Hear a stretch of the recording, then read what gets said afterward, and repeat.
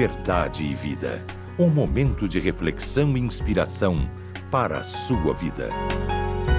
Um programa da Igreja Presbiteriana do Brasil. Verdade e Vida, com o pastor Hernandes Dias Lopes.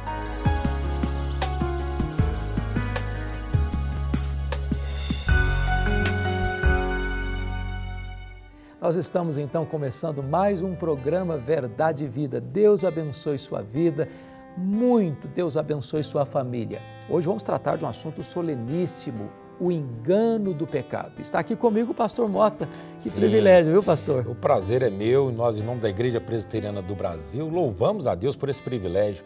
E quando você é. fala sobre esse tema, pastor Hernandes, eu estava pensando aqui, não é um tema muito popular, né? É verdade. Os pregadores não gostam muito de pregar é sobre falar sobre o engano do pecado. É verdade. Será por quê, pastor? É, esse assunto é um assunto que mexe com a vaidade humana uhum. e Deus precisa quebrantar o nosso coração. Mas precisamos ser fiéis à palavra de Deus. É, então o ser. tema vai ser o engano do pecado. É. E você não vai embora não, fique aí, já estamos de volta.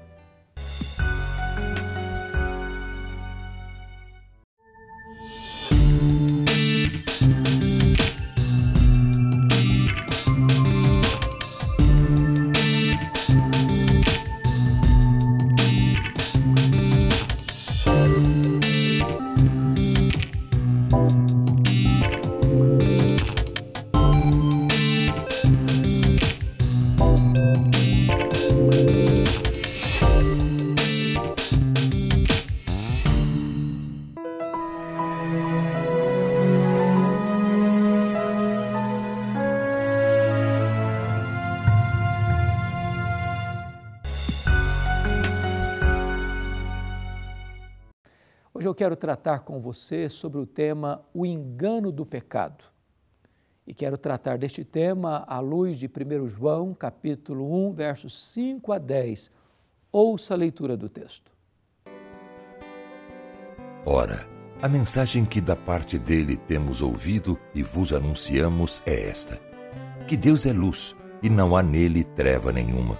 Se dissermos que mantemos comunhão com ele e andarmos nas trevas, mentimos e não praticamos a verdade.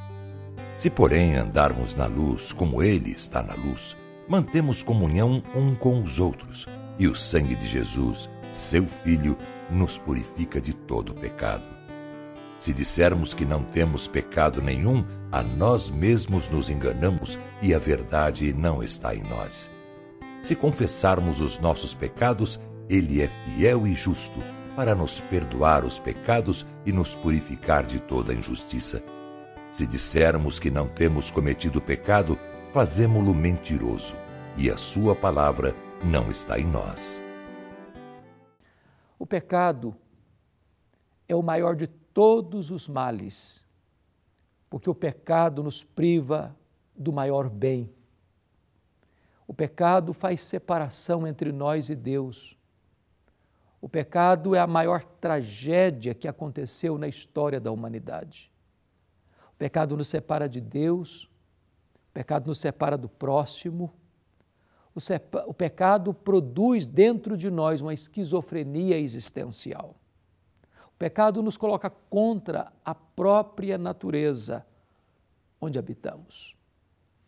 O pecado é uma fraude.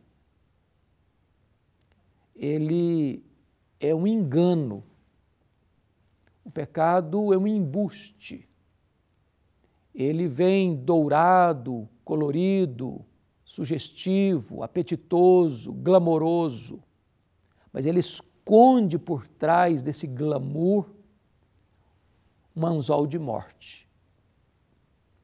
O pecado seduz como a isca apetitosa ele atrai como armadilha, mas o final da linha do pecado é a morte.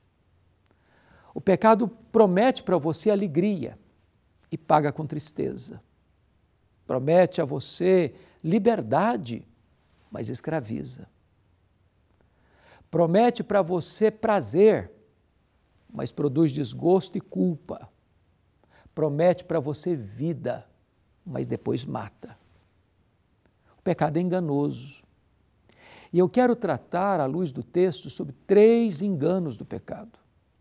Em primeiro lugar, o pecado nos leva a tentar, a enganar o nosso próximo. Passamos uma imagem colorida de nós mesmos, otimista, piedosa.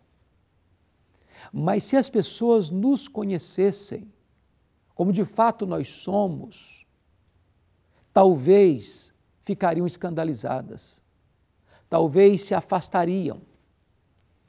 A Bíblia diz que se nós andarmos na luz como Deus está na luz, é que nós temos comunhão uns com os outros.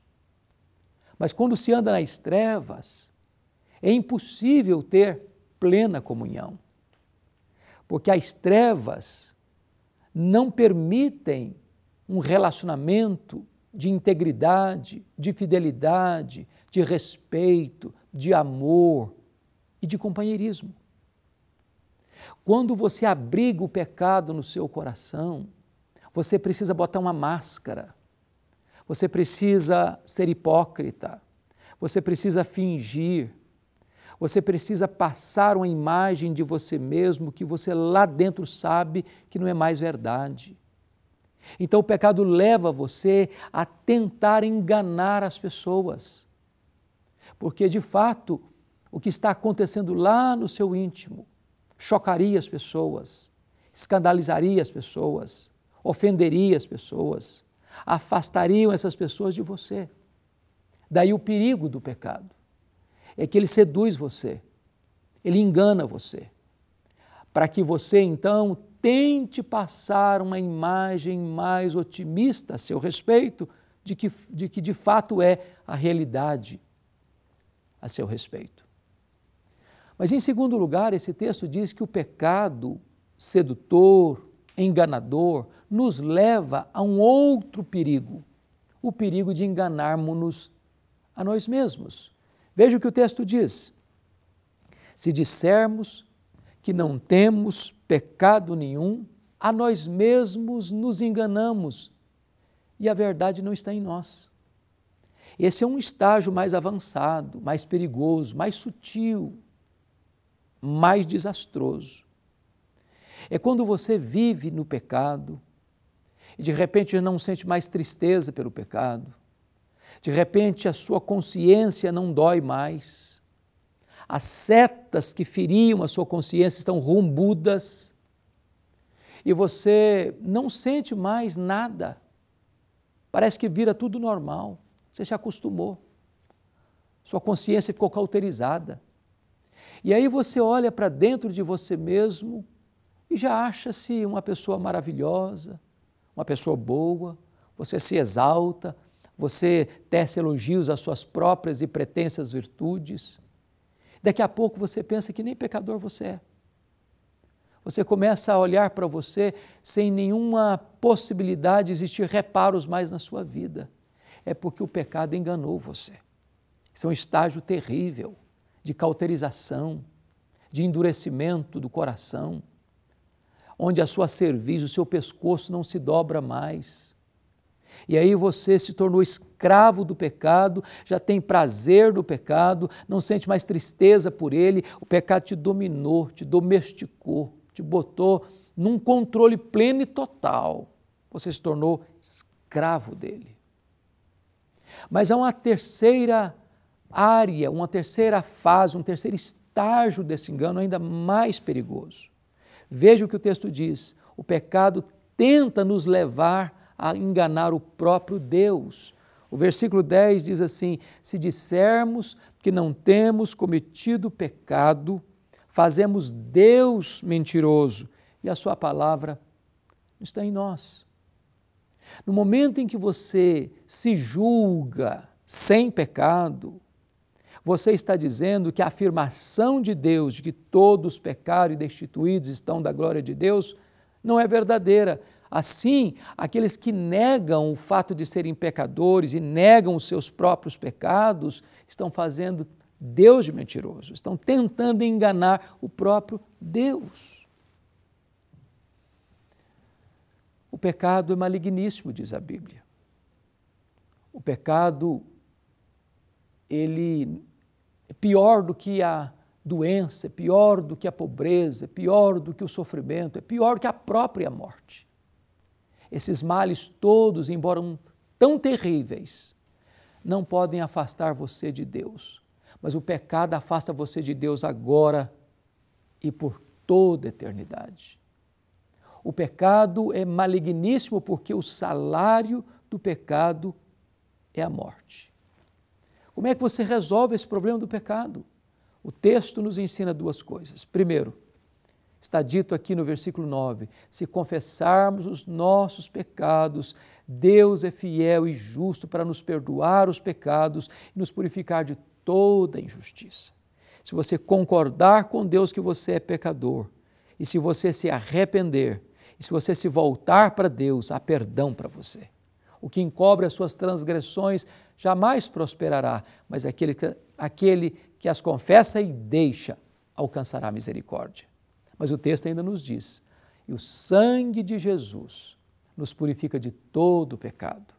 Você pode ser perdoado, você pode ser purificado, você pode ser limpo aos olhos de Deus se você reconhecer que é pecador, se você se arrepender dos seus pecados, se você recorrer a Jesus, Jesus perdoa pecados e o sangue de Jesus lava você de todo o pecado. Eu quero orar em seu favor. Quero colocar sua vida diante de Deus. Agora mesmo você pode se arrepender e voltar-se para Jesus e crer nele e receber dele o perdão e a vida eterna. Deus, eu oro por aqueles que estão nos assistindo, que a tua boa mão seja sobre eles, que a tua graça os alcance e que eles se livrem de seus pecados, encontrando Jesus Cristo e nele o teu pleno perdão. Em Cristo Jesus oramos. Amém.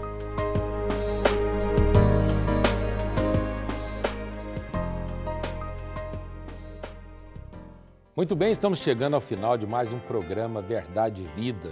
Nós louvamos a Deus por essa oportunidade que Deus tem dado à Igreja Presbiteriana do Brasil, anunciar o Evangelho como ele é.